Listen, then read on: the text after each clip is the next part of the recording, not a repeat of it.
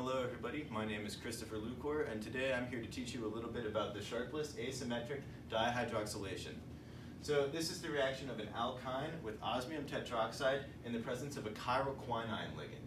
So uh, the reagents for this reaction are sold in two different mixes. We have our AD mix beta and our AD mix alpha.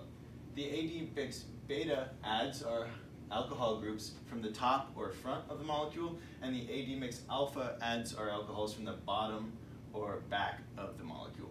So if we look over here, we can uh, imagine our alkyne drawn in this plane, and we can visualize our AD mix adding the alcohols from the top, or our AD mix alpha adding them from the bottom.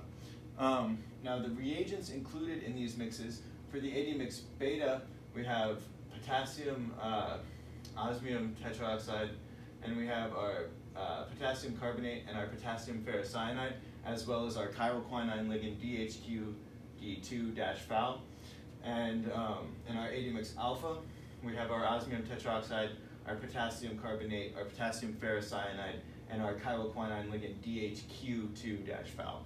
Um, so let's take in a look at an example from Kumar's 2005 synthesis of microcarpalides. Um, so in this reaction, we have our DHQD-PHAL, which is our AD mix beta. And as we can see in our product, our alcohols have added from the front of the molecule as we would expect. Thank you. I hope you've learned a little bit about the Sharpless asymmetric dihydroxylation today.